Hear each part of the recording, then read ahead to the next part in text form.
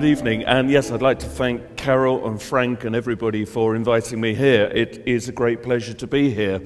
And what I would like to do for you this evening is to give you really an insight into the context of many of the areas that we're going to be hearing about and already have heard about this weekend. Because we hear much about conspiracy, we hear much about conspiracy theories, conspiracy fact, but where does it really come from? What does it mean when you stand back and you see it in a wider perspective?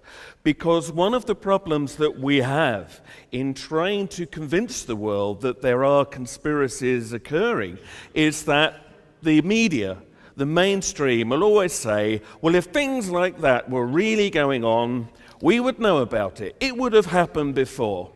Well, of course, these things have been happening, in fact, since history began. And so when you look back at where conspiracy thinking began, you will very quickly realize the kinds of things that we are concerned about today uh, have been going on for many centuries. And of course, the problem that we have is that it is still not recognized. And the other problem that we have is that the technology has changed. And now, of course, that the ultimate dream of a conspirator can now be more easily realized. And that is the danger. But at the same time, that technology can be used to balance it. So I'm going to today look back through a conspiracy history of the world. We cannot cover everything, of course, and I'm going to pick out some fairly mainstream areas uh, because they are the conspiracies that are in the public consciousness. And there will be for everything I mention, a hundred other viewpoints, a hundred other things I could say and include. I am simplifying, of course, but it's interesting to see the patterns that unfold as time goes by. So I begin with this symbol because, of course, we see much about this in the conspiracy world. The all seeing eye, or the eye of providence, as it's really known. And let's see that in its proper context. So, this symbol was created as the Great Seal of America uh, around 1776. And of course, the foundation of the state of America was a, a huge event on the world stage. And there is no question that Freemasonry was a big influence behind this. So, this symbol is indeed very Masonic. But the Masonic world will tell you that there is nothing evil, there is nothing wrong about this symbol, that it simply represents the divine being at the top and the then 13 states of America as they were then below. But of course, you will probably know that many people today see it in a more negative light. They see the eye as being the illumined ones, those who govern our lives, who think they are above us, and that they are disconnected from the pyramid, and we're all down here somewhere at the bottom. So the conspiracy world sees this symbol as an oppressive, dark, evil symbol. And in fact, this is how many people see it that in fact we're trapped within the pyramid. We can't see that we're trapped within the pyramid most of the time because we are within it. And certainly it is true that the majority of people in the world do not realize the cage that they are in. And the gift that people like yourselves have is that you have had the insight to see what's going on, to step outside of the pyramid and see that it is a cage. And those with that insight, of course, have a responsibility to try to share that knowledge, to try to tell people who are still stuck on the inside, look what's going on. And these, I think, are very important missions, if you wish, that we need to take on, is the sharing of this information. So, this, however, is not a modern construct. Let's go back in history a couple of thousand years.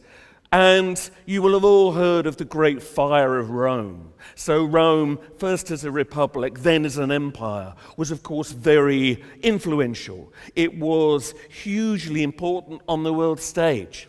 And this image here of the famous Nero, the Emperor Nero, playing music while Rome burned down, is still a perfect symbol for modern conspiracy thinking. It encapsulates everything.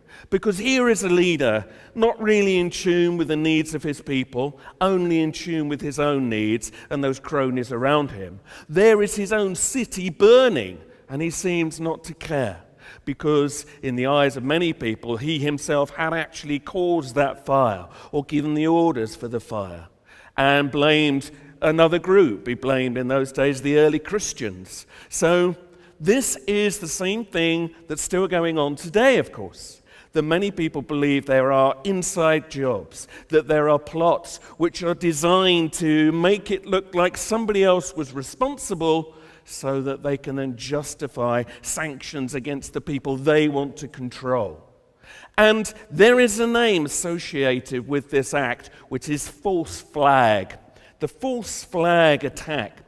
And in fact, that was based on a real tactic that not only the Romans but other ancient cultures would use, where you would attack your own ships under the colors and flags of the enemy to make it look like the enemy had struck so that you would then be able to justify hatred against that enemy and then justify the wars and the withdrawals of freedoms that were necessary to help you win against the enemy.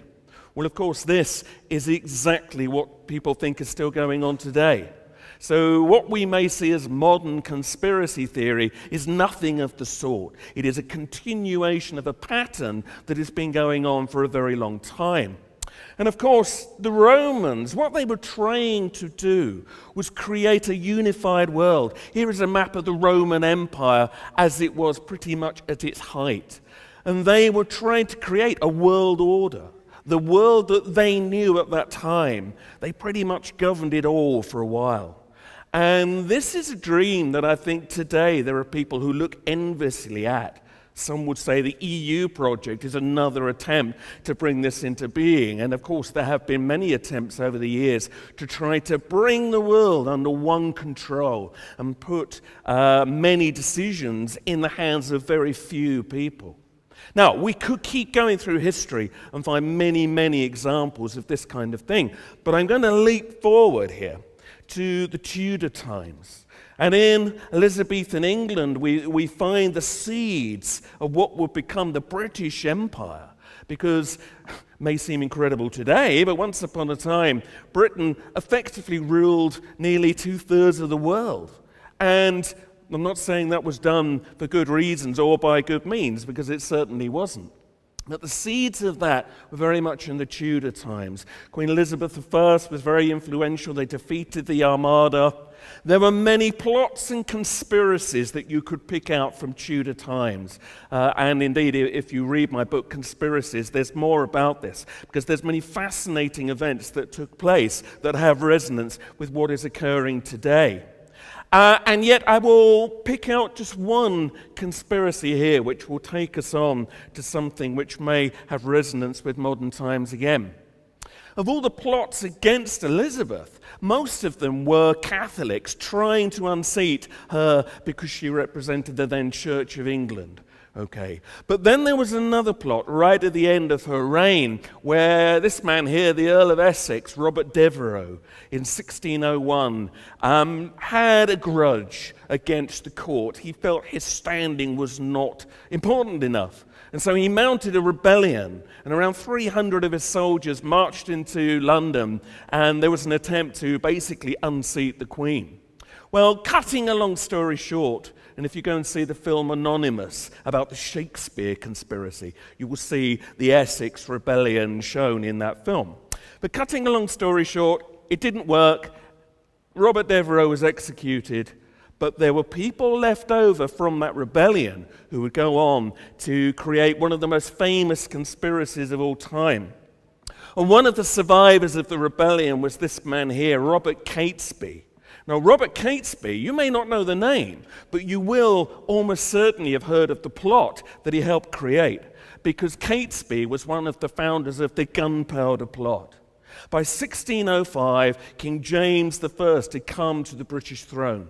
And he was essentially expected to be very Catholic leaning. His mother, bear in mind, had been Mary, Queen of Scots, who had been executed on the orders of Elizabeth. But in fact, when he came to power, he did not return the country to Catholicism and he decided to keep the Church of England. Now, that angered many Catholics. There was persecution against them in those times. And so the gunpowder plot was, in essence, a terrorist plan to blow up the Houses of Parliament and indeed the king uh, and all his court all at the same time. They gained access to cellars under the Houses of Parliament and packed them with gunpowder. And it was only uncovered at the last minute one of the conspirators, and we still do not know who, warned his cousin, one of the barons who was due to be at the opening of Parliament that day. The warning was, Don't go, because there is danger. Well, of course, that then created a, a, stir, and they searched the cellars, and that's when they found Guy Fawkes, and that was the end of the plot. And there were executions and shootouts, and it all ended horribly. Now, you may say, well, that's just a planned terrorist plot, that it was an assassination attempt, and that's all there is to it. But where it becomes a little bit more interesting is, as years have gone on, there's been more interest in a very commonly held opinion at the time, which was that they had been sponsored to do it by the very government they thought they were trying to blow up, that they were patsies that this was very similar to, of course, what we hear about with 9 11 and many other modern plots. Allow me to explain. So, there was a Jesuit priest called John Gerard. And of course, the Jesuits themselves have been accused of many conspiracies over the years.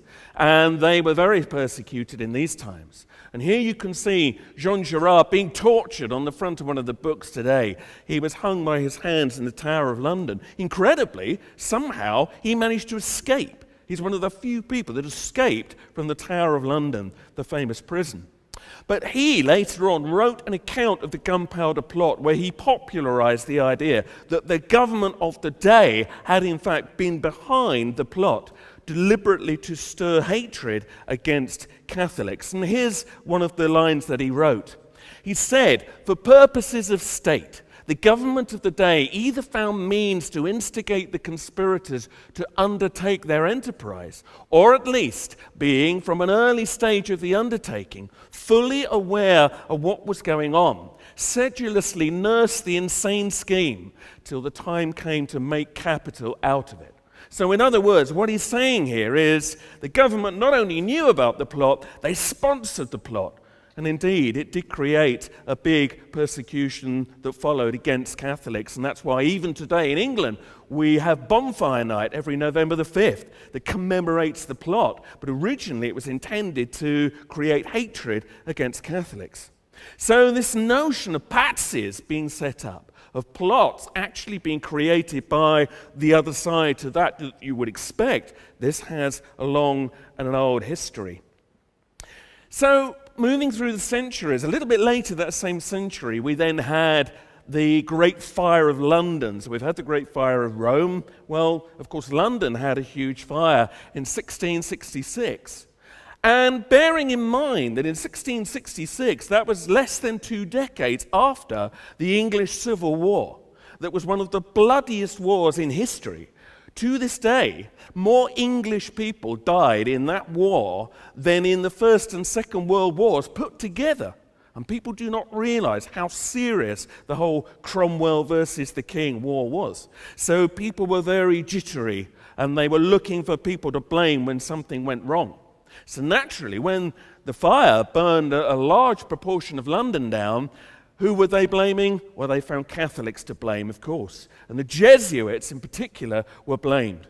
And there was great hatred against them, even though there is no evidence whatsoever that the Jesuits caused the fire. But into this morass of accusations steps this man here. And this man probably did more damage to the reputation of conspiracy theories in Britain than any other person, though you may not have heard of him. This man is called Titus Oates. He had been a Jesuit priest in training himself, but had then been thrown out. And he had a grudge against the Jesuits. And he and a colleague called Israel Tonge uh, decided to invent a plot that would create even more hatred against Catholics. So they spread the idea that the fire had been caused by Catholics. But more, they spread the idea that there was a secret plot to assassinate the new king. King Charles II, because of course they had executed Charles I. But then the Cromwell years hadn't gone so well as a republic, so they invited the king, the new king, to come back. So Oates said there was a huge plot to kill King Charles, and it got more and more elaborate. The stories he told were more and more crazy, but they were believed. And there were 30 people executed on the back of his claims until finally they started to get wilder and wilder. And then he started to say things like the plot was to assassinate Charles II with silver bullets to inflict an unhealable wound. And it became more and more strange and esoteric until finally the judges twigged hang on a minute, this bloke is nuts. and it was uncovered that it was all a lie. Too late by then. And yet, then Titus Oates found himself in the stocks. He was eventually pardoned later on, but that's another story.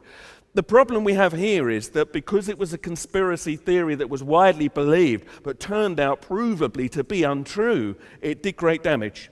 And after that, although conspiracy theories would never go away in the British Isles or anywhere, they certainly were never believed by the mainstream establishment ever again. And, you know, one of the problems we have is that the mainstream will not acknowledge today conspiracies unless they, are uncovered so provably. And then, when they do get uncovered, they reclassify them. Suddenly, they're not conspiracy theories, suddenly, they're corruption or crime, corporate crime. But in essence, they are conspiracies. But this did damage, and that may explain why, ever after conspiracy theory went underground, and it was never so publicly discussed again. But that doesn't mean that conspiracies went away, of course. So, one of the famous, sort of basic sort of weights of conspiracy theory today is talk of the Illuminati.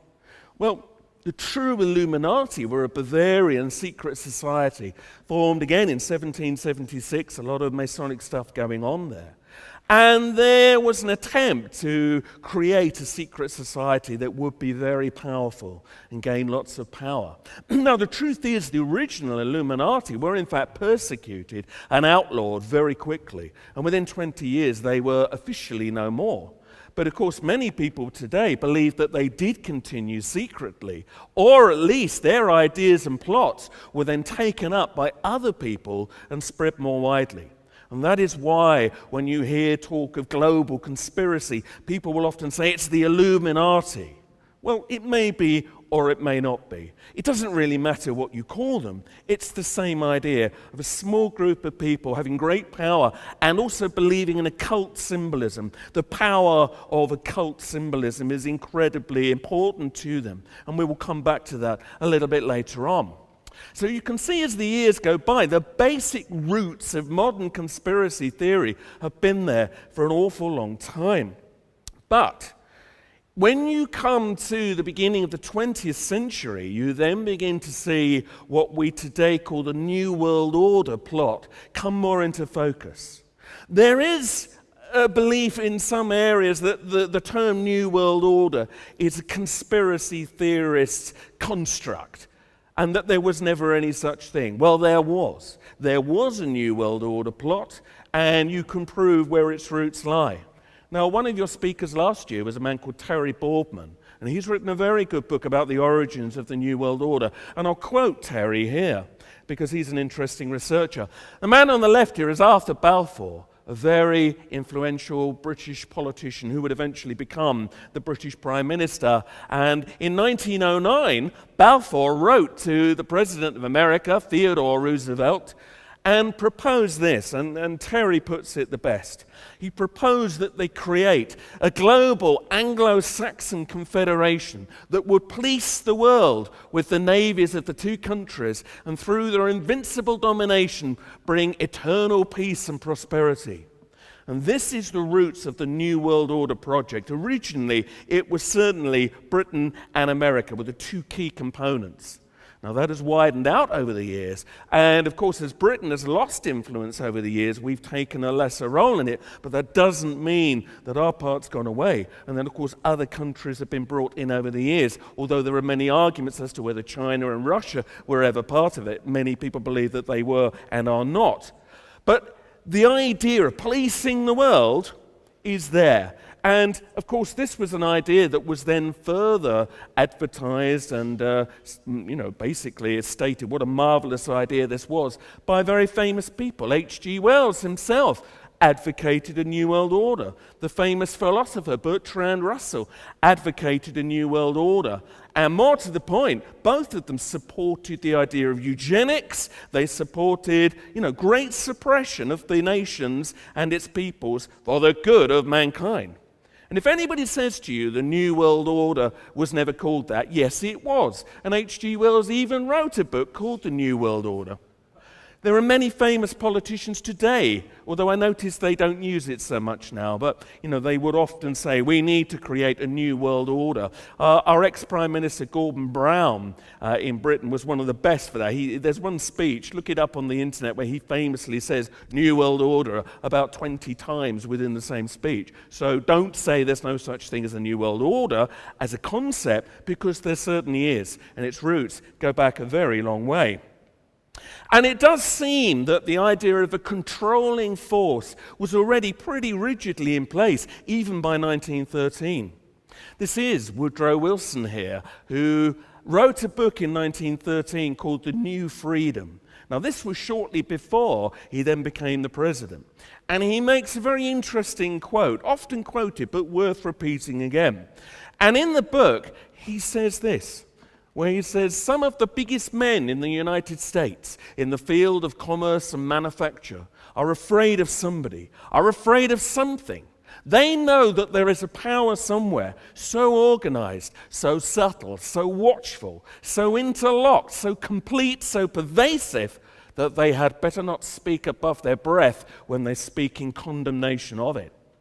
Now, there have been arguments over the years as to what he was really referring to, but there are many people in the conspiracy world who believe he is basically describing the ruling elite that were already in place. The irony being, of course, that Wilson himself would very quickly then become a part of that ruling elite because very shortly after he became the president, as we were hearing from William earlier on, he helped to create the Federal Reserve the moment where public money was basically corralled and the choices that we had around it were taken away from us, which is creating so many problems to this day. And we don't need to go back in to the areas of how money is used to control things, partly because it is obvious, partly because William has covered it so very well. But nonetheless, you can see the steps that were made here, and sometimes they were steps made by people who previously you would have thought would have been opposed to it. Somewhere down the line, they were bought, they sold their souls for the New World Order project. And as well as controlling money, you have to control the world by other means. And many people, of course, believe conflict is used to create the New World Order. And there are, of course, those who believe that both World War I and World War II were deliberately, if not caused, allowed to occur because of the controls it gave to certain individuals and the boost it gave ultimately to the New World Order project. Here's a good early example of a false flag from the 20th century. Um, you will have heard perhaps of the ship the Lusitania. And the Lusitania had been sailing happily across the Atlantic from America to England. And it was always given a fleet of, uh, of ships, an escort, because, as of course, as World War I began, U boats, German submarines, were patrolling and they knew they were a threat. And then, of course, one day, suddenly, it doesn't have any escorts. It's going along the Irish coast, and suddenly all the ships have vanished. And it's vulnerable, and it's alone, and it is torpedoed. And as you can see from this headline here, many, many people died. Over 1,200 people died. Now, this is a curiosity because who gave the order to withdraw the ships? Well, we can't be sure. But it's a fair bet that it would have been the First Lord of the Admiralty. And who was the First Lord of the Admiralty in those days? Sir Winston Churchill, as he is or was later.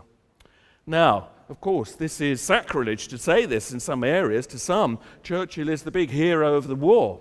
But I'm afraid there is good evidence that he may have given the order to allow the Lusitania to be torpedoed by allowing it to go into unsafe waters without an escort. And if you doubt that, it's worth quoting a letter that Churchill wrote. This is on the record. He once said, shortly before that happened, it is most important to attract neutral shipping to our shores in the hope, especially, of embroiling the United States with Germany. For our part, we want the traffic, the more the better. And if some of it gets into trouble, better still. So, in other words, what he is saying here? Is we need one of our ships to get into trouble because he particularly wanted the Americans to come on board in the war which of course they did. Not immediately, but the Lusitania sinking was certainly used for great propaganda. And these posters were very powerful at the time, uh, showing the, the mother and the daughter drowning coming off the Lusitania with a simple word enlist. In other words, join up, join the war. And this certainly helped turn public opinion in America towards thinking that maybe they did need to go and fight the war that was occurring then in Europe. So the false flag attack is alive and well, even in more modern times, and of course, we will see more. So, when you then come into World War II, you see the same patterns on both sides. It is an interest to me that, of course, it is often said that the Reichstag fire uh, in 1933, which enabled the then rising Nazi Party to gain a lot more control because they blamed the fire on the communists. And of course, then the communists lost what positions they had, and then the Nazi Party was able to rise to its full power, which previously it didn't have quite enough seats to do everything it wanted. After this, yes, it did.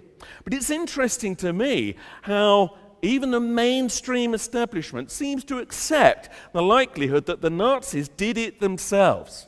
When in fact there are ambiguities around that. We do know that a Dutch communist, Marinus de Lubbe, was involved with the fire, but of course there are many claims that there were Nazi officers who were also involved. But whatever the truth, it is generally accepted in the mainstream that the Nazis did it themselves, that it was a false flag. And yet, when you then say, well, yes, well, maybe 9 11 was, was an inside job, no. Now, they can't go there. They can say it about the Nazis, but they can't say it about the regimes that we have in power today. And then, of course, as the World War II had then begun and then uh, things hotted up, then you get a very similar situation to, Pearl, uh, to Lusitania with the Pearl Harbor attack.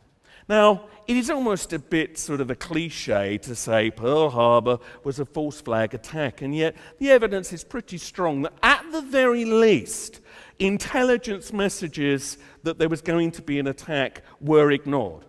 There are more claims from insiders that say, more than that, the Japanese were deliberately antagonized into creating the attack, and that they basically then let the defenses down and let them come in for similar reasons. Because this gentleman here, who was the then President Roosevelt, a cousin of Theodore Roosevelt, uh, again, and I'm oversimplifying here, there are, of course, always more complexities to all of these stories. But in essence, he was willing for America to join the war. A lot of corporate people in America were not. There was a lot of business ties with Germany. It was very awkward. But after Pearl Harbor was attacked, it changed American public opinion. There had been attack on their own territory, as it were, and that changed things. And now, there are some patriots today who say this is disgusting nonsense. How dare you say that this could have happened? Well, here's the interesting thing it isn't just conspiracy theorists who believed that Pearl Harbor was allowed to occur. Some of the people at the time in high positions believed it. Uh, Jonathan Daniels was one of the secretaries of Roosevelt, and he made a very interesting comment where he said the blow, meaning Pearl Harbor, the blow was heavier than he had hoped it would necessarily be. But the risks paid off. Even the loss was worth the price. Clearly referring to the fact that this was a setup. And if you want something more direct, Let's have another person at the time who believed that this was false flag. Vice Admiral Libby said, I will go to my grave convinced that FDR, Roosevelt, ordered Pearl Harbor to let happen. He must have known. So when people say this is mad conspiracy theory, do remember to refer them to people who were part of the Navy at the time because they suspected something was up. So you must, of course, make up your own minds about this, but you can see there are repeating patterns going on here, and we cannot ignore them. And of course, at the end of the war, we then see the next stage in what seems to be the New World Order, and then laying the grounds for the Cold War, which, of course, you know, did so many things to create centralized power, not to mention create a lot of money for the arms industry. And by this point, you know, England, or Britain, I should say, were on the back foot in the New World Order. They'd lost a lot of money, they'd lost a lot of power because of the, the World War. And suddenly, America really stepped, I think, into the main driving seat of the New World Order. And yet, as we will see later on, it is clear that Britain is still looked to as a necessary component. And I think there are underlying links which are still very powerful for people today. So you can see how conflicts and wars are very important to create a mandate for control and centralized power. And as the decades rolled on, this never really went away. One of the most famous uh, discussed false flag incidents, if you want to call it that, isn't really false flag. The Gulf of Tonkin incident is often said it was really the, the final flashpoint that generated the Vietnam War. Except that instead of it being false flag, in fact, the, the Gulf of Tonkin incident never really occurred. There were minor skirmishes. Here we are, you can see there was a couple of North Vietnamese gunboats that came down and took the occasional pot shot at this huge American fleet. They were no threat to the fleet. But one night, there were sonar readings that suggested a big North Vietnamese fleet were coming in.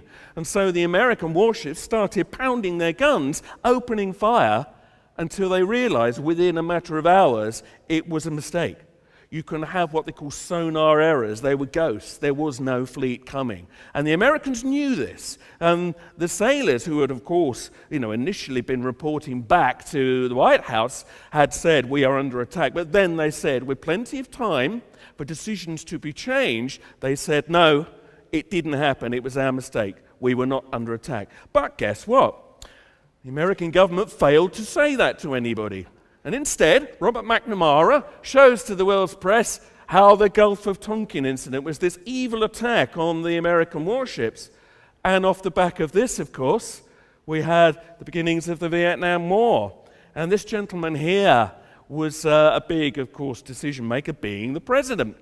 So here we have Lyndon B. Johnson. And you will see Mr. Johnson pops up a couple of times in the world of conspiracy theory because unfortunately he seems to be associated with quite a lot of conspiracies. And he certainly knew that there had been no attack. It is almost certain that he knew that, but he still decided to use it as a basis to generate, of course, one of the most terrible wars of the 20th century. And you all know the rest on that. So conflicts sometimes are helped along by false flag attacks, other times they are helped along by plain lies, simply lies. Don't even need to stage an attack when you can just say one has occurred. Very clever, much cheaper as well, although not in the long run. Now, another war that we had going on around the same time is worth a mention.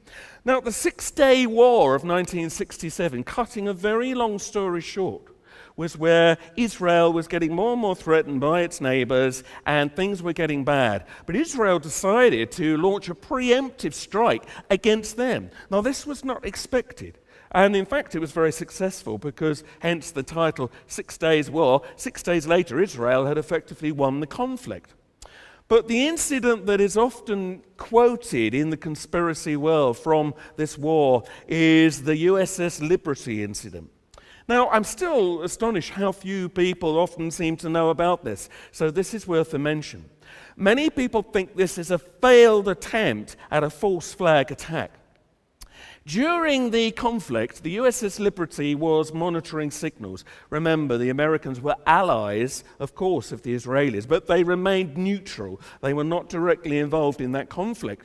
So, why was it then that one day uh, Israeli warplanes and Israeli torpedo boats came up to the American ship, the Liberty, and started firing at it and attempted to sink it.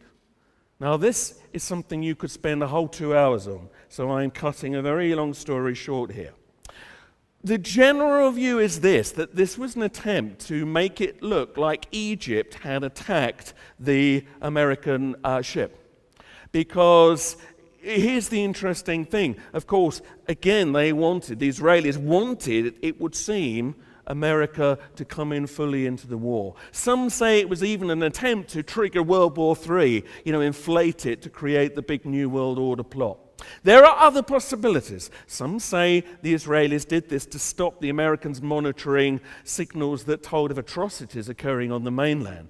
And there are some grey areas, but one thing is not grey, which is the Israelis absolutely knew this ship was American and not Egyptian, as they claimed. And the torpedo boats were so near, there's no way they could not have seen that it was an American ship. It had American flags, it was an American ship. And there's a lot of evidence to say they knew very well it was American. So, why was it that they then said, Oh, we're ever so sorry. We attacked it because we thought it was Egyptian when they knew that it was not. And you can see here they even managed to torpedo the hull, but it didn't sink. Now, this, I think, created problems because, of course, had it sunk without trace, all hands dead, there would be nobody to testify that, in fact, it was the Israelis that did it. And this was problematic. And it was embarrassing, even, it would seem, to this man here. Mr. Lyndon B. Johnson. Now, when told that his own, one of his own ships was under attack, you would imagine that he would want somebody to go and help that ship. But when he heard that planes had been dispatched to go and rescue it because it was under attack, here is what he reportedly said. He said, No, I want that goddamn ship going to the bottom.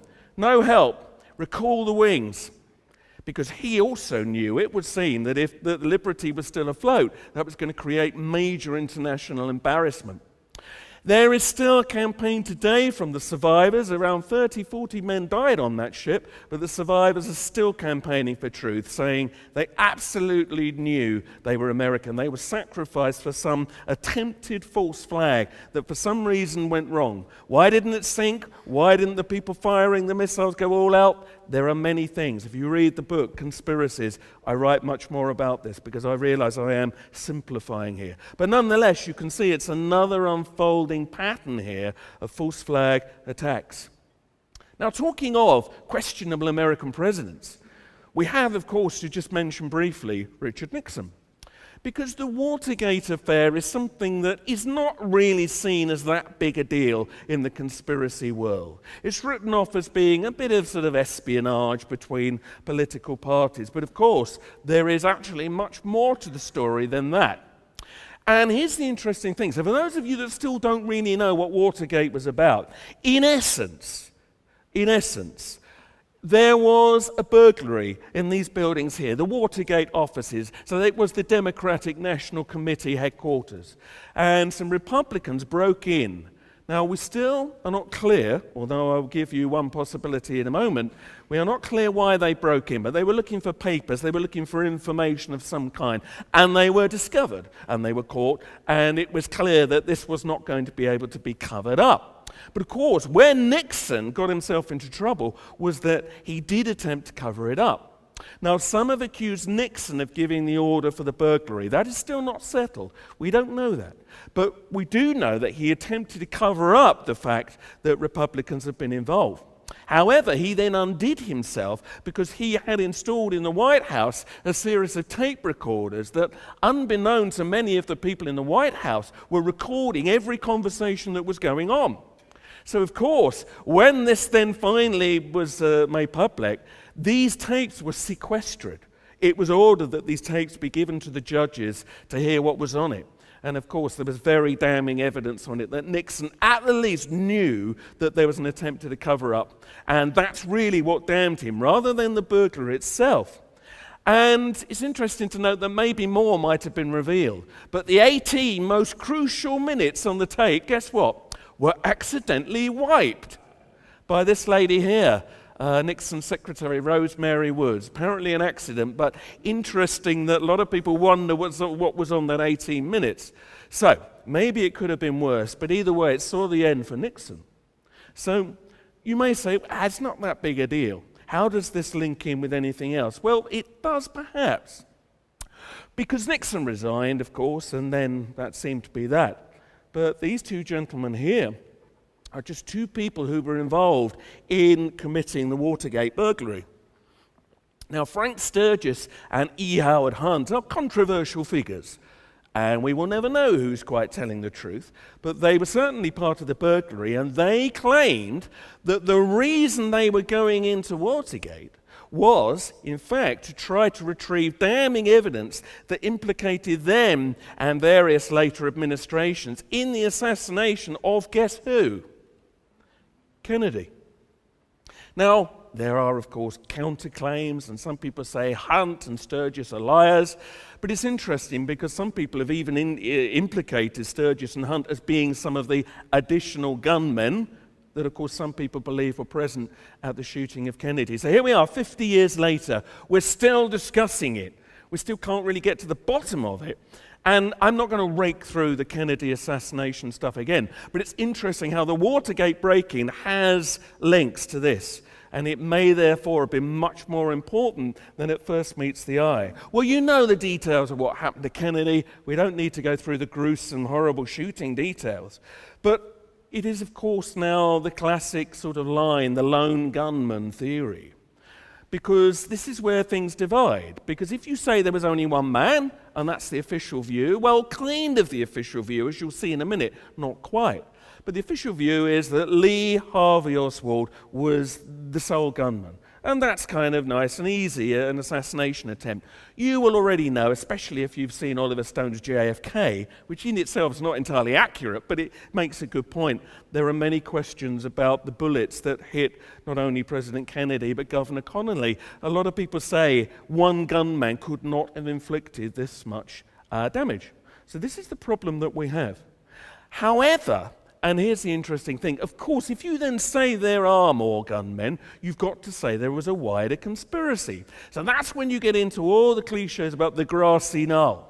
The grassy knoll, here we see it, is simply a rise of grass where there were people who claimed there were other gunmen firing from above the wall. The arguments still rage today. But if you say there were other gunmen, then you've got to say it wasn't just one madman, that there were many other people, or at least one other person involved, and why and who were they working for? And then it becomes more complex. And we might have found out more about this, of course, were it not for the fact that Oswald was then himself shot dead by Jack Ruby. Oswald was being moved from the police station. Jack Ruby steps out, shoots him in the stomach. So we never heard Oswald's side of the story. But Jack Ruby himself is an interesting character. So, Ruby, of course, gets arrested himself, and his claim was he was a nightclub owner, he was a patriot, and he was getting his own back for the people against this lone gunman. But it's not quite that simple, because I think it's clear that Jack Ruby expected to be let off for this crime because it was a patriotic act, but he wasn't. And when he began to realize he wasn't going to be released and he was going to go the full suffering route, he then began to come out with more information. And by the time uh, he'd been in prison for a little while, he had himself become a conspiracy theorist. And an interesting quote from Jack Ruby. There was a press conference where he was able to be interviewed. And he said this he said, Everything pertaining to what's happening has never come to the surface. The world will never know the true facts of what occurred, my motives. The people who had so much to gain and had such an ulterior motive for putting me in the position I'm in will never let the true facts come above board to the world. And then a reporter said, Are these people in very high positions, Jack? And then he said, Yes. So, in other words, it would seem that he believes that he was kind of framed, although there's no question that he then shot Oswald. I mean, but he was framed as the sole perpetrator. Now, later on, he then claimed that people in his cell were injecting him with cancer cells, and he did indeed die of cancer in the police cells eventually. So, we will never know his side of the story. But you see, the problem we have here is that Ruby and Oswald, far from being enemies, may in fact have been friends. Uh, Ruby was a nightclub owner. One of his strippers was this lady here, seen in her younger years here, uh, Rose Cherami. Now, she had gone to the police on the eve of the shooting of JFK to warn them that there was a plot because she had overheard Oswald and Ruby, who she claims were lovers, she had overheard them discussing the plot to kill Kennedy. Well, of course, she was not believed, and then, of course, the shooting occurred. Uh, and she was then given a very hard time later on as a liar, a fantasy. She made it all up. Well, maybe she did, but then more people took her seriously when she was found dead by the side of a road a couple of years later. And it certainly seems that they wanted to shut her up. There are many other witnesses, many other complexities to this that we could talk about. But I will just say this in a little series that we'll have now in the next half an hour to the end. JFK, the number of key witnesses who have died in mysterious circumstances is always, always worth noting if you want to get to the, the root of what's going on. Okay, what have we got here? Total 21 in mysterious, weird circumstances. Too much to really be coincidence. Note this because we're going to see some other mysterious deaths as we go through. So, listen, I am simplifying here. You could go on forever about Kennedy and still not come to an agreement. It may interest you, however, to know that in fact the official line is that there probably were other gunmen realizing that the Warren Commission, that was very hastily set up and concluded there was only one gunman, realizing that that was not convincing the public, in 1979, the administration at the time then reopened the investigation and produced this report, the Select Committee on Assassinations, and it concluded that there probably were other gunmen. But guess what? It then failed to follow it up, and it was like, that'll do and they never went any further. And the absolute truth is that the official view says there was a wider conspiracy. Who was it? Make your minds up, really. So many options. But a lot of people think whoever it was that actually organized it, whether it was Cuban exiles, Fidel Castro, the mafia, the Freemasons, the Israelis, MJ12, whoever, doesn't really matter that it was all working ultimately for the New World Order project, that Kennedy needed to be removed. It was a coup. And of course, because it was a coup, everything that's come since has basically created more control. Kennedy was a bit of a wild card. He wasn't playing the game. He wasn't acting on the orders of the masters. He wasn't doing what he was told to do. So he had to go. And of course, uh, guess who some people implicate as being uh, one of the key people who helped organize it? Our friend Mr. Johnson again. We can't prove this, but this is conspiracy theory in this case, and there's certainly evidence that he may well have been caught up with all of this. And then, of course, some years later, what happens? Kennedy's brother goes the same way, gunned down in a Los Angeles hotel. The same year, Martin Luther King dies. Um, that was I think, an interesting turning point in the public psyche. Because by now, conspiracy theories were rife. And by now, of course, it seemed that anybody that stood up for themselves and for good and right was just going to end up getting shot down. And it began to create a kind of feeling that anybody that was trying to stand up tall would be cut down. And it then began to create conspiracy theories that went into rather surreal zones. So, around 1969, a little conspiracy theory grew on American student radio. And it grew and it grew, and it's still going on today. And you may not have even heard about it. And it's not seen as that serious by some, and yet for others it is. There is a theory that Paul McCartney of the Beatles, the real Paul McCartney, died in a car accident in 1966 and that he was replaced by a look-alike, a double, who ever after took his place and happened to write even better songs. Now, I am not in any way saying this is true, but what's important is that this theory was believed by millions around the world, latched onto by millions around the world. And Here's the thing.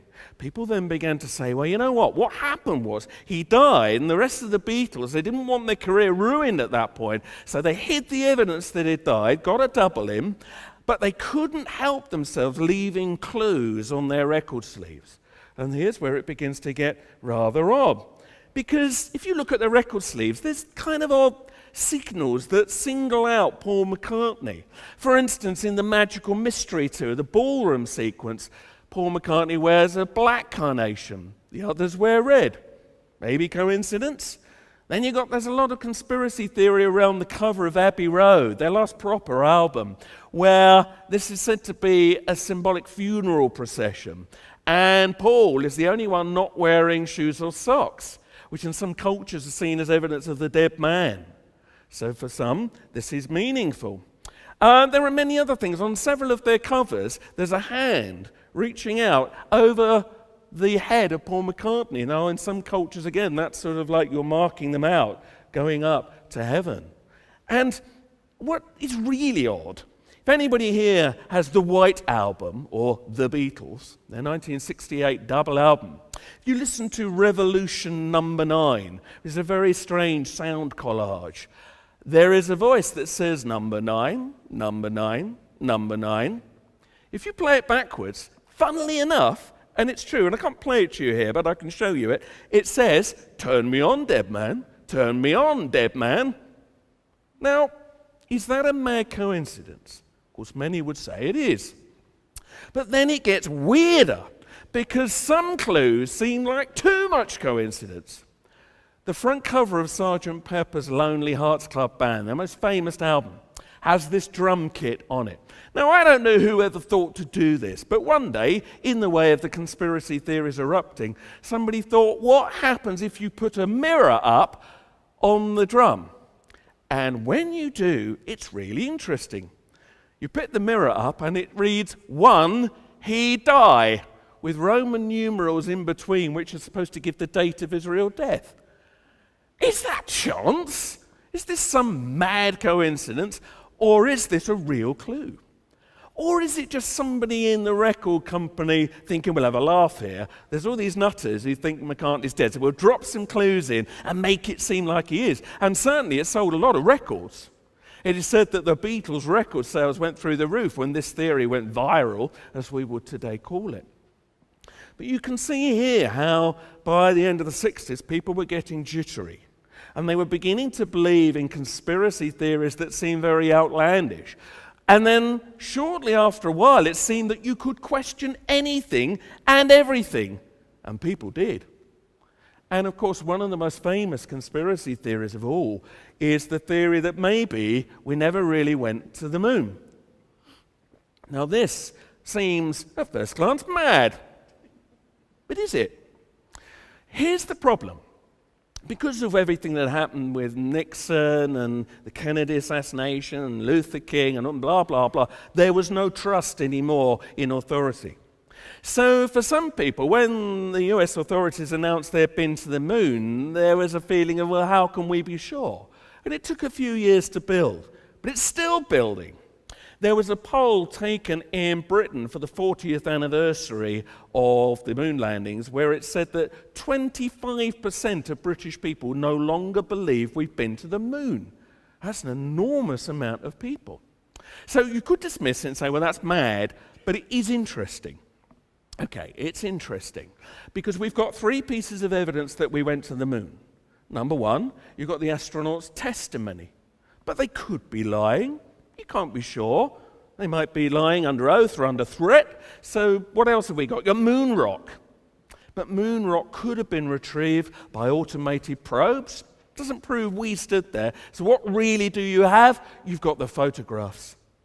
So, the photographs are better stand up to some very good scrutiny, but they don't, often. And this is where a grey area comes in, where it's hard to be sure what's really going on.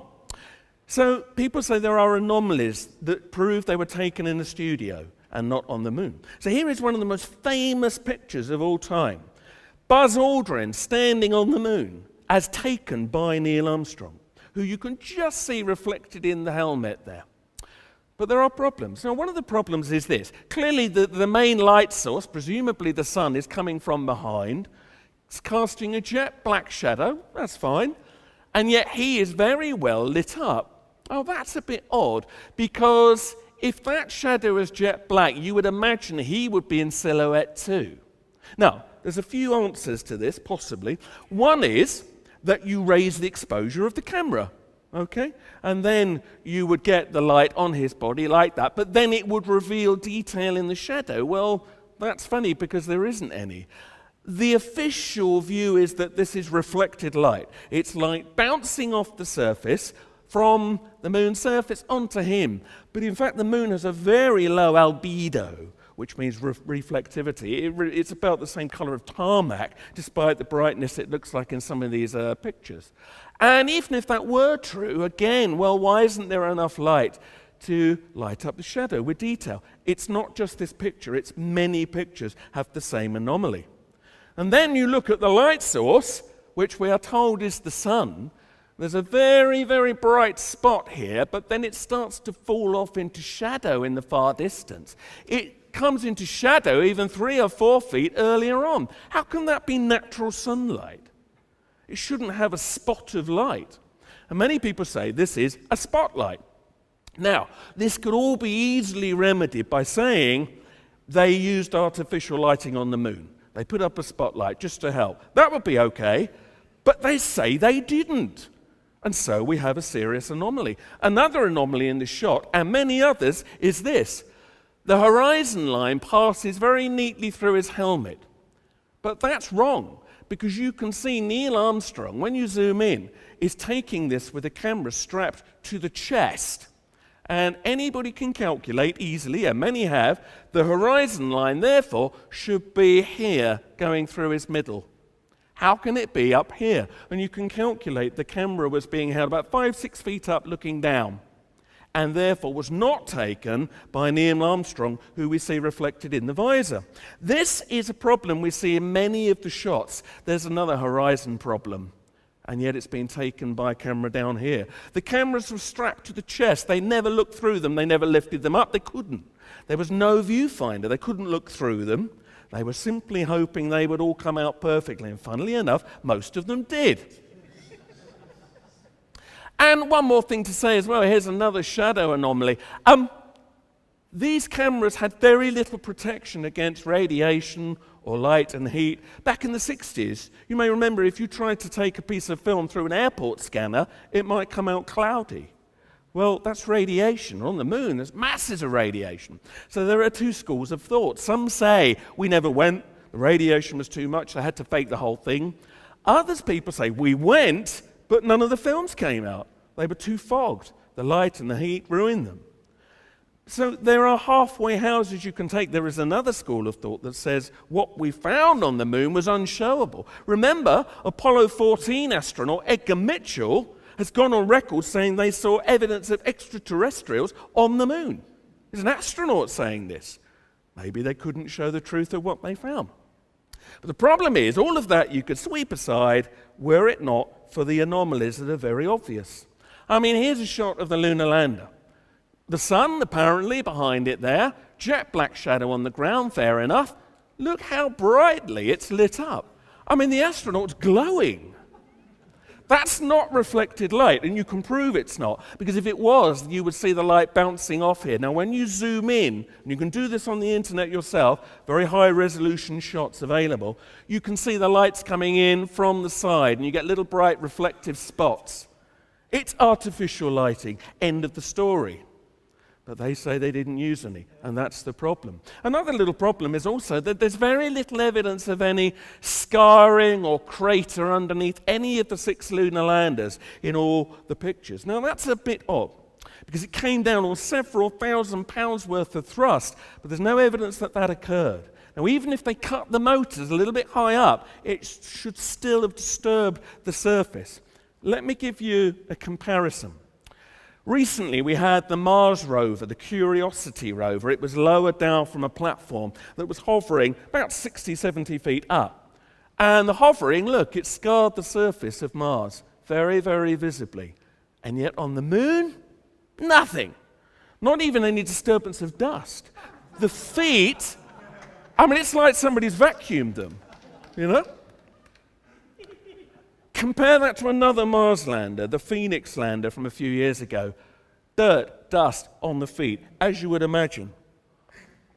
It's the same for all the lunar missions, and therein hangs the problem. Now, here's another little issue about the jets.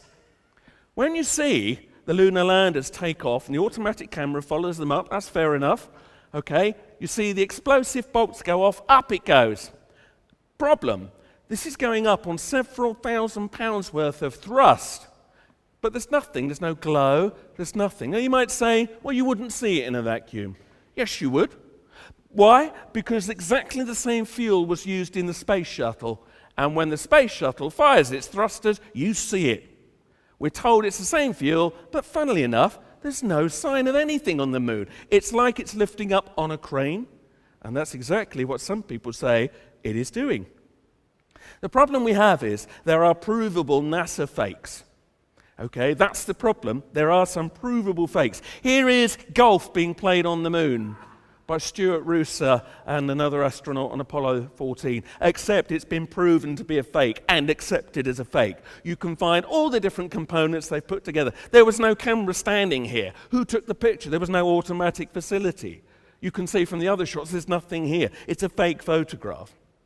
And one of the other killers, if you've not seen this before, this is great. Michael Collins here, spacewalking from Gemini 10 in the uh, mid 60s. Uh, well, at least we thought it was until some while later, somebody was looking through the NASA image bank and they discovered this photograph of Michael Collins in a test aeroplane. And it's clear what has occurred. They have cut him out, stuck him on a black background, and said, hey, look, he's in space. It's that bad. Now, the problem is, of course, if, if you fake one or two pictures, well, why not 100 or 200, or why not all of them? Why should we believe them? And that's the problem. I am not saying we didn't go to the moon, but I am saying there are problems with the evidence. There are aerial shots showing the landers and that, allegedly, but then Photoshop's very good these days. Till we get back there and literally land and see all the things in the same place with the same lighting conditions, we're not going to be sure. But here is where the tale gets a bit darker. It isn't just people in the more conspiracy laden days since that were thinking this wasn't going to work. Here we see on the left Virgil Grissom, Gus Grissom as he was known. He should have been the first man on the moon. There's a reason why he wasn't. He was very dubious that this mission was going to work. He criticized the technology to the point where, at a press conference in front of journalists, he hung a lemon on the capsule as an insulting symbol. And he said, I think our chances of getting to the moon are very slim. That's, that's what he said, very slim. And he started, he claimed to receive death threats. And he made an interesting quote to his wife shortly before he said, if there is ever a serious accident in the space program, it's likely to be me. Well, what happened? Of course, a short while after, he was one of the three that died in the launch pad fire of Apollo 1. And Apollo 1 caught fire on the launch pad during training, and they died rather horribly. They were in a very oxygen rich atmosphere. It was very ill advised, number one. So a lot of people think this was sabotage. And certainly there were people at the time within NASA who believed it was sabotage. And Grissom's son, Scott Grissom, who was himself, he then became an aerospace engineer, also is convinced that his father was murdered. Scott Grissom demanded to see the capsule many years later in which his father died. He wanted to investigate. He didn't feel there'd been a proper investigation. When he investigated, finally, he was allowed to look he discovered a small metal plate that obviously at some point had been inserted into a little place deliberately made for it in the dashboard, in the cockpit of the capsule, that could serve no function other than to cause a fire. It, it served no function, it would have just created a spark. And in an oxygen rich atmosphere, whoomph, you wouldn't stand a chance. as we were saying conversation earlier on, also, the hatch which normally should be very easy to open and get out, was sealed shut, like they couldn't get out. So he went public saying, My father was murdered. But that was really known at the time. Because a NASA investigator, shortly after the fire, this man here, Thomas Ronald Baron, was asked to investigate the fire, but he didn't come up with the right answers because he concluded it was sabotage and then he concluded also that just looking at the general state of the technology, it was very unlikely we were going to get to the moon. He was preparing a 500 page report. He'd made a preliminary, that's how we know what he believed. Uh, but guess what? One day, he and his family were in the car and he mysteriously drove it directly into a train, and they all died. And anybody after that who was going to start questioning it probably went rather quiet. So I'm afraid there is a darker side to this. So, another little game here. Not very funny one. NASA, number of key personnel who have died in mysterious circumstances 13. So, I think it is clear that even though it seems like a silly conspiracy theory, there are people who take it more seriously at the top who don't want the truth to come out. And that's where you have to consider hang on a minute, there's more to the story. Talking of strange deaths, okay, let's leap forward. It is interesting to me that if you look at the polls about the people's belief in why Princess Diana died, in Britain certainly, it is around 90% of people believe she was murdered. You can have inquest after inquest saying, no, it was a drunk driver. No one really believes that in their gut. There's a strong feeling that she was murdered. You probably know the story of Diana. So after the split with Charles, she decided to get her own back. She went very public, did lots of interviews, very damning. She revealed things about the royal family we weren't meant to know. And then, of course, one night, being chased by paparazzi photographers, the car slams into the wall of the underpass in Paris, and they all die. She didn't die immediately. We'll come back to that point in just a moment. So the problem we have is the official verdict says it was basically a drunk driver. The driver, Henri Paul, seen here on CCTV, is not in any of the footage seen to be drunk or in any way out of control of his own faculties. And the, it is acknowledged that the blood sample that they claim proves he was drunk had been switched. It got switched accidentally. They claim they switched it back and they did a double test and he definitely was drunk. But the interesting thing is that those same results reveal that if he was drunk, he had so much other toxicity in his body, he would have been too ill to even have got out of bed that day. There's something very odd about that sample, and yet you can see from the footage all was normal. There are many things you can see here. This has all erupted again in the press in Britain in the last few weeks because the wife of an ex SAS officer has gone public saying the SAS murdered Diana. So this is now coming all back to the surface again. One of the problems we have is that it is known and accepted that a white Fiat clipped the Mercedes in the tunnel. But the French authorities, funnily enough, with cameras all over Paris, say they never found the Fiat. Couldn't trace it. Too many cameras turned off that night. Interesting, isn't it? Well, when Mohammed Al Fayed who I accept some people do not take seriously, but hey, his son had just died in the crash, Dodi. So he's going to have a vested interest in knowing what happened. When he put his own private detectives on it, they found the very likely owner of the Fiat, this man, James Andanson. Now, Andanson claimed that he hadn't used the Fiat in some years and it wasn't him.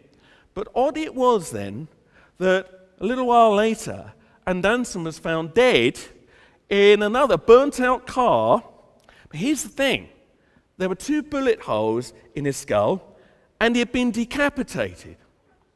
And the official inquest said it was suicide. I leave you to think about that for a moment. This doesn't make sense plainly. And yet, this never got properly investigated. Diana certainly thought she was in danger she, let us not forget, and most people don't remember this, she believed her bodyguard, Barry Mannakee, who died in a motorcycle accident some years before, she believed he had been murdered because it is said she probably had an affair with him. And the intelligence services wanted him out the way. So she believed in conspiracy theory, absolutely. Unless we forget, she told her then butler, Paul Burrell, and her confidant, Lord Mishcon, that there was a plot to kill her.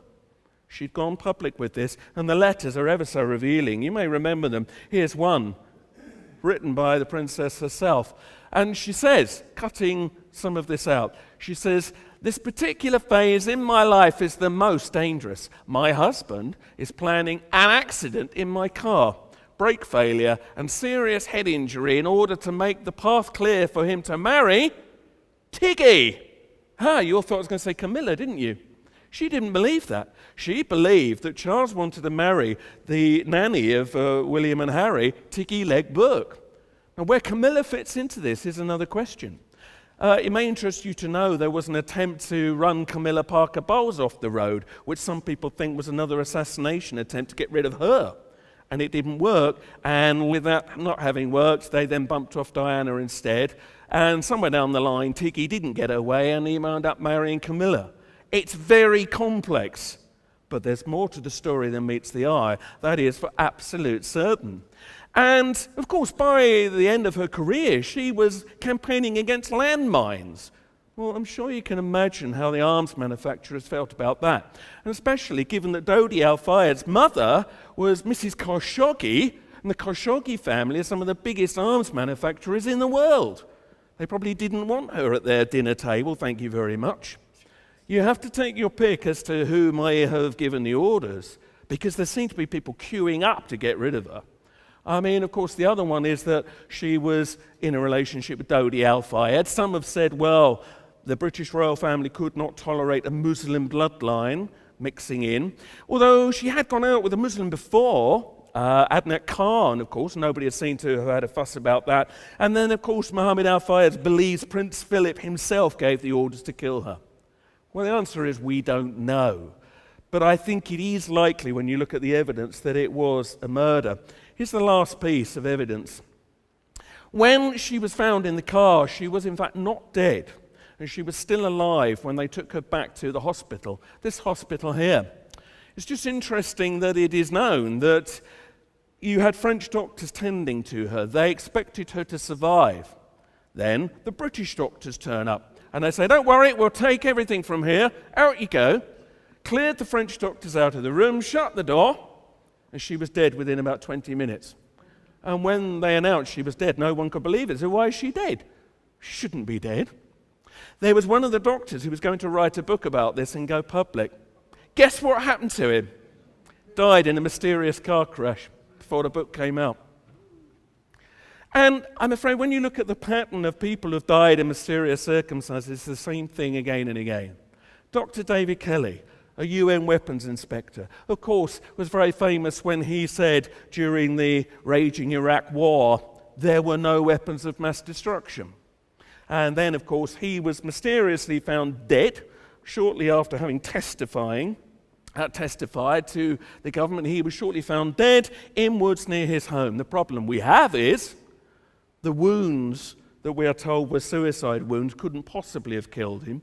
He had very little drugs in his body, they couldn't have killed him. His body was provably moved from where it was originally found to where the police filmed him, as he was slumped up against a tree. The police photographs show him sprawled like that with a knife and a bottle of water next to him as if to make it look more like a suicide. Even one of our members of parliament, Norman Baker, wrote a book saying Kelly was murdered. So when MPs start saying that, you really know there's something very wrong with the story. And if you want the absolute evidence of that, bear in mind the official inquiry, which would you believe was a whitewash. Lord Hutton, who led it, uh, decreed that the medical records that apparently proved that it was suicide could not be released for 70 years. If that ain't suspicious, I don't know what. And plus, the coroner's certificate that declared why he died. Now, the whole point of the inquest was to decide how he died. Bear in mind, only three days into the inquest that went on for a long while, the coroner suddenly produces the certificate that says, yes, it was suicide thus making a whole joke of the inquest and skewing the verdict of the, in, of the inquest. So it's very clear again look at the polls. In England, 90% of people believe Kelly was murdered. And of course, all of that, the war in Iraq, and all of that was a spin off from the war on terror, the campaign in Afghanistan, and all of that, of course, was a spin off from, guess what? 9 11. And I hardly need to say anything about this, and I'm barely going to say anything, except to say that a lot of people think this was the biggest New World Order coup in history. But here's something some of you may not know it was not the first attempt. Go back in time to 1993. There was a truck bomb that went off in the basement of the World Trade Center. And when it went off, It killed several people and injured thousands, and it nearly took out the foundations, which would have toppled one tower into the other and brought them both down. Here's the curious thing A, that is clearly a sign that somebody was trying to get rid of the towers even back then. And B, this man, Emad Salem, claimed he worked for the FBI. And he claimed that the jihadist group that apparently carried this out were known to the FBI and he had been hired to basically set them up, bit like the gunpowder plot, set them up so that they could step in at the last minute and prevent the bombing, but of course implicate the Muslim world. But, funnily enough, they were supposed to have been given dummy explosives. They were going to give them fake explosives that they wouldn't have known so that they could then be caught. But guess what? They gave them real explosives. Now, of course, the authorities say this man is a fantasist and a liar, but it fits in pretty well with other things that we know about 9 11. You don't need me to say very much here. If you believe the official story of 9 11, you need to find out more, and I'm sure most of you don't. Mr. Rockefeller, we haven't mentioned him, so let's mention him here and now. The classic quote he once said, All we need is the right major crisis, and the nations will accept the New World Order. And for many people, this was really the crisis because so much has spun off from it. And take your pick, whether it's the size of the hole in the Pentagon, clear evidence for some kind of explosive, a building that falls down when it wasn't hit by anything, and what seems to be molten metal when the temperatures couldn't ever have been that high. Well, we could go on. Whether you believe it was conventional thermite or you want to go down the Dr. Judy Wood route that says there was some other weird technology involved, does it matter? They should not have fallen down in the way that we saw. And there is questions after questions after questions you can ask, and I'm not going to ask them tonight because I suspect that most of you know them. If you don't know why people doubt the official story of 9 11, find out. You owe it to yourself and to your friends and family to find out. Because, of course, it's you know what followed that really mattered. Um, that said, those that have been trying to find out and have found some very interesting details and a lot of key witnesses on the day who can testify to things like explosives in the buildings. Well, funnily enough, quite a lot of them have died. How many? Twelve at the moment. Odd that, isn't it? In mysterious circumstances. So, again, somebody's covering the trail. So, in Britain, we then had in 2005 our own kind of mini 9 11 where we had these Muslims, we are told, who set off bombs on the London Underground and a bus. There are so many problems with this story. I don't know exactly what did happen, but the official narrative does not make sense. First of all, the time codes have been altered on the videos. They're not accurate. Uh, we've only ever had one of the bombers identified by his face. The rest we don't really know. Some say they were actually working for the authorities. Some say they were even fooled, a bit like Emad Salem, fooled into taking live explosives when they thought they were taking part in an exercise, which has been acknowledged an exercise was going on that day that visualized exactly the same things happening in exactly the same targets, just the same as on 9 11, where we're told there were exercises that visualized exactly what happened there. And there are so many problems. There are claims that suddenly, just when the bus was going to where it should have gone, two cars diverted it into Tavistock Square, which has a lot of New World Order connotations. And there's a lot of, even in the mainstream, this information is available. A lot of witnesses on the day said the explosions came up from beneath the trains, not inside from the rucksacks. And there are several people who've testified to that, and there are photographs you'll find on the internet clearly show blasts beneath the trains. But again, it got us on message, it made us joy in the war against terror.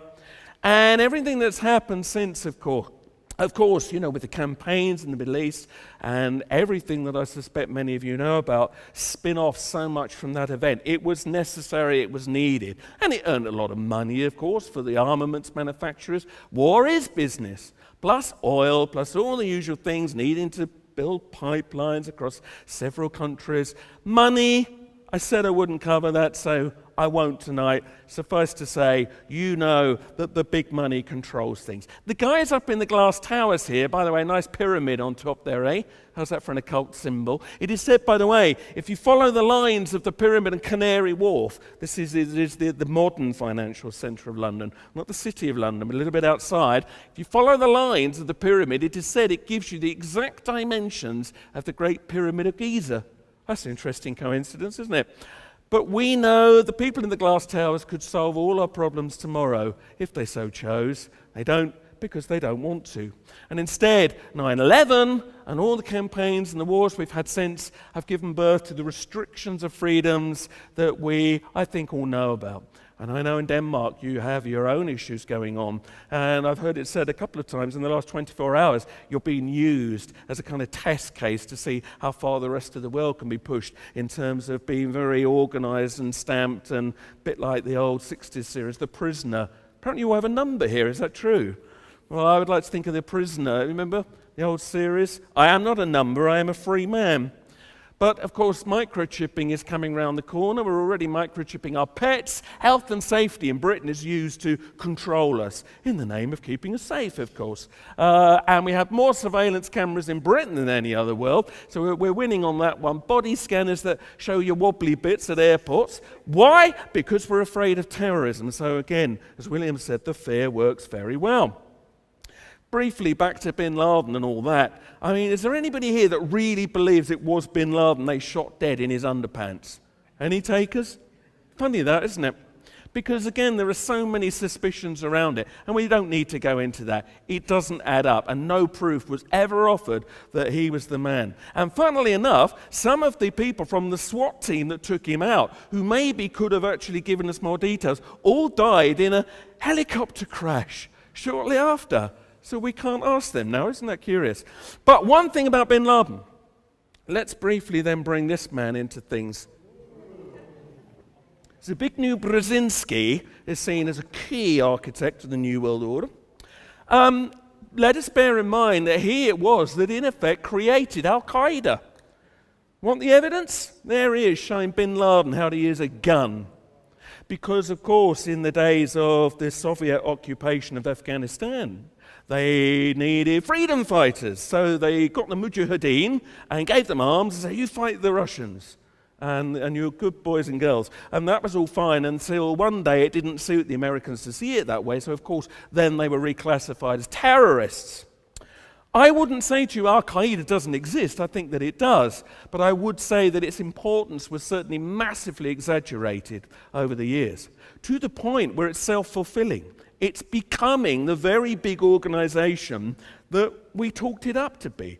But I think there's a lot of evidence they were a bunch of tin pot militias who were sort of like not that effective, who we've elevated to a position now of being this incredible controlling force. Although now, funnily enough, we find ourselves on the same side by saying we might back the Syrian rebels. So we live in very strange times. Um, and we're not going to go into Syria, Egypt, or any of that tonight. Suffice to say, there's clear evidence of Western interference there from the start, wherever that story is going to go. And I have a feeling it's not going to plan, actually. So maybe there's hope there, but we shall see. But Getting back br- briefly to Brzezinski, of course, this wouldn't be a problem if he still wasn't so influential. He was one of Obama's backers. And although publicly he has not agreed with everything Obama has done, there's no question he's the father figure in the background. And if you haven't already read it, do go and find a copy of Brzezinski's book, The Grand Chessboard, in which he pretty much lays out the New World Order plan as a marvelous thing. This is the thing, you've got to get into their heads. They think they're doing good. He says it's marvelous to control the world and, you know, do what we need to do to set up conflicts if it makes the world, well, not a good and happy place, but a controllable place. And he sees that as a good and happy place. And some people think there was a good intention behind the New World Order. Some people don't think people like Arthur Balfour was evil. He really thought the world would be better if we civilized it. But now it's turned into this. And now what's happened is power's fallen away from our democracies, or whatever stood for them once. And so now it resides in organizations like this. Interesting to note, though, that this year in Britain, the Bilderberg Group, of course, had one of their meetings there, and there were protests, and it did get some mainstream coverage. And two of our ministers were forced to stand up in Parliament and explain what they were doing at the Bilderberg Group meetings. And they didn't make a very good job of it. They came across badly. So now they're under the spotlight. People know in these quangos, in these strange, undemocratic organizations that effectively run our lives, they know that we now know that they exist. So that is going to change things, I think. If you go onto the internet, you will find many diagrams of how they think the world is really run. And you can choose yourself where you think you are in it. If you think you're up here, what are you doing here? Apparently, we're all down here, the sheep at the bottom. Who's at the top, though? Who's at the top? Well, for some people, of course, person at the top's this person. Now, I'm not going to go today into the whole David Icke reptilian agenda thing, except to say some people think there are certainly bloodlines that have governed the world for a long time, and the Queen is clearly still a powerful figure. Not politically, but symbolically, she is. Watch the footage of George W. Bush addressing a, a dinner where the Queen was present and see how humbled he is. Even he knew it was time to shut up because this woman was in charge. Whether she's in charge of the whole world conspiracy, well, I don't know. And whether the bloodline is extraterrestrial, as some believe, I don't know. Does it really matter? There is certainly evidence that there are strange things flying around in our skies. There's certainly evidence, I think, of extraterrestrial cover ups. But whether you think that's what's behind the New World Order project is another matter. And does it really make any difference? You're up against the same thing, whether they're evil aliens or human beings. Okay? So I would argue it's not worth spending too much time on that. So I'm going to start, believe it or not, to pull this to a close, right? Five minutes. Bear with me. The problem is, we know there is a cult influence. There is a cult influence. I'm sure most of you are aware of the Bohemian Grove rituals, where some of the, the great and the good and the bad, mostly the bad, of world leaders go and dress up in funny robes and attend the cremation of care ceremony once a year, where they sacrifice the effigy of a child to a giant stone owl. And some of you may be thinking, yeah, this is old hat, we know this. For some people, it may be a shock to know this goes on. Very famous people go. Here's a shot of Bohemian Grove many years back. Ronald Reagan there, Richard Nixon. And the occult symbolism is so strong that you have to say this really does count for something for these people. Now, they try to say it's all a silly pageant when they talk about it at all, but mostly they won't say anything. But funnily enough, only one president has ever referred, as far as I'm aware, directly to the Bohemian Club. Because it's not denied, but it's not talked about. But Bill Clinton's the only one that went public with a statement. Somebody at a rally said, Hey, what about the Bohemian Club? And interesting to note, Bill Clinton's response. He said, Did you say Bohemian Club? That's where all those rich Republicans go and stand naked against redwood trees, right? Well, I've never been to the Bohemian Club, but you ought to go. It'll be good for you. You'd get some fresh air. That's typical Clinton humor, but it's an acknowledgement that it's real. We don't have the time to go into this tonight. Go and find out about the Bohemian Grove rituals if you want more. But some say it's nothing, it's a distraction. Others say it's a deep, occult, very dangerous thing. But certainly, dressing up in funny robes and worshipping giant stone owls, which is their main emblem, seems like a funny thing for our world leaders to do on their holidays. And Bill Clinton, funny man, eh? Funny man. Okay, get this, right? You like this. The Clintons number of ex associates of the Clintons or investigators who have died in mysterious circumstances, right? Roll of drums. Imagine a roll of drums in your head 50. Look at a website, the Arkansas Sudden Death Syndrome. There are so many mysterious deaths, one of which includes a man who drank himself to death on domestic mouthwash. There's something, I, now I'm not accusing the Clintons of doing this, but I would just say this there's somebody around them that really doesn't like them and their associates, or there's certainly a jinx associated with them. So, laugh at him, but at your peril. There are people that go to Bohemian Grove now and campaign, and people like Alex Jones with the bullhorn and shouts at them and they protest. And maybe that's why there are plans to get rid of us all. Because, of course, one of the big conspiracy theories that we're hearing more and more about is the depopulation program. If you go to the state of Georgia in America, you may find these stones, the Georgia Guidestones, which seem to have in several different languages recommendations for the future of the world in a kind of a New World Order vision. And one of the things that it says we should have is a world court, or in effect, a one world government. One of the other things it advocates and says would be marvelous is eugenics. So going back to H.G. Wells again and all of that. But the, the most disturbing thing of all is that it says the global population should be kept below 500 million. That would mean wiping out pretty much 90% of the population, which is all well and good, but who gets to decide, eh? A lot of people think there are plans afoot to reduce the population, either through viruses or general poisoning us through terrible additives in our foods. And therefore, they go and they protest occasionally. Every now and then, their Georgia Guidestones get uh, vandalized. The elite want 80, or sorry, 80% of us dead. So this is beginning to upset people. And of course, that then ties into people's feelings uh, about the whole chemtrails phenomenon. Whether you think it's poisoning or a suppressant or engineering for some strange solar event they're expecting, well, there's clearly something weird flying around in our skies. How much of it is natural, natural aeroplane trails? How much of it is fake? Well, you must decide. But you're going to hear more about that from Frank tomorrow, I do believe, who's done some very serious study into it. And there is a feeling now from a lot of people that we're being attacked from all sides.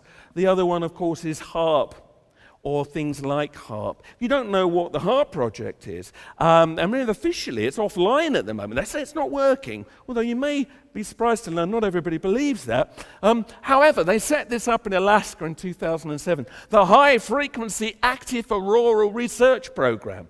And officially, it's there to sort of do experiments with rocking the ionosphere, military communications. They can create their own aurora in the sky now by zapping the sky with energies. Problem is, a lot of people think it's doing more than that, and some people think it's responsible for some of the terrible disasters that we've had, whether it be earthquakes or volcanoes or tsunamis. And they're using it to create, if you like, weather wars, that they can actually generate disasters and make it look natural which seem to occur to countries at odd times. Now, I can't tell you if this is true or not, but I can tell you this. The fact that so many people believe this is going on is a sign of how badly things have suddenly gone. We cannot go on like this. Either they wipe us out or we stand up and we do something about this, because this is no way for the world to be. And Never mind HAARP or scalar waves or whatever you think's been zapped, because there's lots of other theories around that. We don't know what satellites are going on. There are satellites above our heads every minute. We don't know what they're doing to us. They could be zapping our minds. Go back to Brzezinski's book, The Grand Chessboard. He actually advocates that one way of subduing populations would be to beam waves down on them. And this is a marvelous thing. He recommends it. So, for all we know, it's already occurring. And in any case, the mind control is overt and active anyway through what we're fed in our TV, the terrible food that we're eating generally. Maybe you eat better over here, but you know, it is a concern that we are being attacked from all sides. And that if quite a few of us popped off the planet soon, that would suit the needs of the New World Order. But this is how we are personified. Right? There's a fantastic mind conditioning going on that anybody that questions the status quo is a loony that wears the tinfoil hat to stop their mind being controlled. Maybe it works, I don't know. I'm willing to try anything now, really. But that's the problem. This is propaganda to ridicule those that are trying to expose what's going on. It is not fair, it is not true. You see, there are so many things. In Britain alone, We've had the Rupert Murdoch scandal. We found our government was being controlled by Rupert Murdoch. Basically, there's police cover ups being uncovered, MPs' expenses, bank crisis. In other countries, you know, Obama still hasn't shut down Guantanamo Bay, weapons of mass destruction. The revelation recently of the PRISM system that is surveying us all. Mr. Edward Snowden did a good job. Some say he's part of a conspiracy himself. Who knows? But now we know that the Americans and actually anybody with the technology can listen in to us and probably do if they want to. And here's the thing then they ask for our trust. Why don't you trust us? Why are there conspiracy theories? You're all mad. Come on, guys. Everybody knows the game that's being played. They know, we know and they're just hoping to put off people at the fringes that might be convinced that we really are mad. But the truth is, we are under surveillance. The truth is, they have plans that don't really suit us. The good news is this the fact that so many people are now questioning it, the fact that they have to do all this mind wash and conditioning tells you they feel threatened. They know that more and more people are coming to an awareness, and a lot of people think we are literally at the dawning of a new stage of consciousness. Many ancient prophecies said that on 21st of December 2012, in our modern calendar reckoning, would be not the end of the world, like the media said, again, that was conditioning, that it would be the beginning of a huge time of change, consciousness shift. And a lot of people think that is exactly what's going on. And a word of warning don't do what they do, right? There are people in the world who do not have our best interests at heart. I think you can see from this compilation today that there is a pattern that repeats and unfolds. But let us not fall into their trap because, yes, there are bad people, but some of them may even have good intentions, but very misplaced. But we mustn't just point the finger and say, it's them. It's them over there doing it to us. That's what they do to each other. It's him over there. No, you know what? It's us. We allowed the New World Order to become what it is by our collective apathy. Now, it's not our fault entirely. We were trained into that way of thinking. But those that now know the game, you've got a duty, you've got a responsibility to stand up and be counted. And don't just blame them, they are misguided.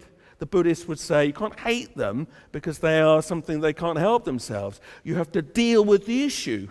Be a bit Jedi about it, but don't do it with hatred, because that way lies the dark path. But there's a truth to that. What we need to do now is not be afraid to stand out from the crowd. I mean, I am lucky enough to address many different audiences where they're quite mainstream. And I try and offer these ideas to people, maybe not in such a direct way as I did today. And I find many people are open to them. People are not just sheep. They can see for themselves what's going on, but they're afraid to say anything because they think other people will ridicule them. When they see others standing up and are willing to voice this stuff, they feel more energized. They feel they can come and join in, and it's all right to think like that. And look at the polls 90% think Diana was murdered, 90% think David Kelly was murdered. At the last big anniversary poll, of 9 11, 10th anniversary, around 50% of the world's population no longer believes the official story of 9 11. Ladies and gentlemen, that is victory. It's happening. But that is also why we need to be absolutely on the lookout. I believe that the next few years are not going to be comfortable ones. But I do believe there's an opportunity here. And we've still got the internet relatively free. Notice how they're trying to take control of it through small print and anti pornography legislation or whatever it may be. That's fine, but look at the small print. They're trying to shut it down, but they haven't yet. We have a chance to shut them down.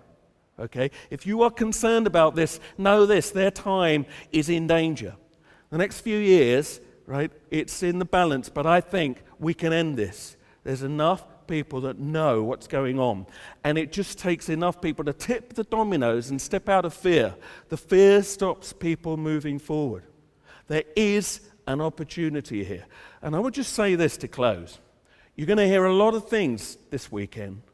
And I've just rattled through a few of them in a very simplistic way you may not agree with all of it, that is fine. But by the time you step out of here, if you're here all weekend on Sunday, don't just forget about it. If you step out of here and then back to normal, no change in your life, it's failed. When you leave here, put this knowledge into operation. Go and do something that makes a difference, however small, because it is people like ourselves, okay, that are going to make the difference. And don't be fooled into thinking everyone else is a sheeple. No, they're not. They just don't know how to make a difference, and they don't realize that other people may share their views. When they're given the opportunity to, you're going to begin to see critical mass take care of things. So, thank you very much for listening, and go out and do something. Good luck. Thank you very much.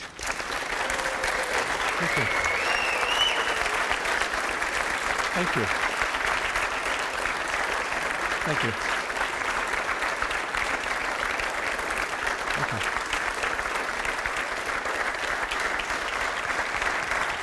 Thank you.